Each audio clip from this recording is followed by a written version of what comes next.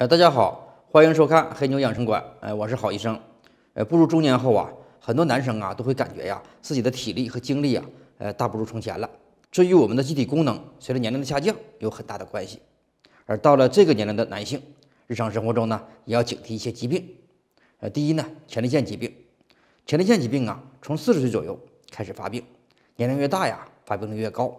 它呀，发病缓慢，刚开始时呢，尿的次数增多。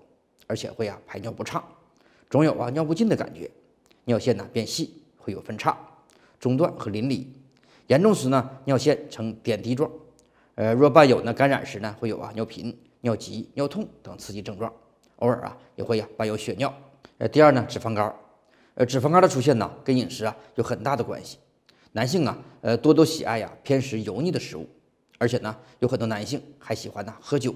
这样啊，就很容易诱发呀脂肪肝的出现，造成啊肝脏的损伤。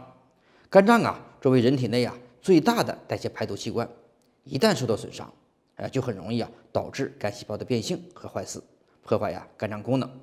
第三呢，三高疾病，高血压、高血糖、高血脂是啊中老年人的常见并且呀高发疾病，而且呢男性发病率多于女性，呃，因为男性不注重啊体型和外表。在饮食上呢，也比较啊随心所欲，致使啊中年的男性体重啊不断的飙升，也增加了患三高症的风险。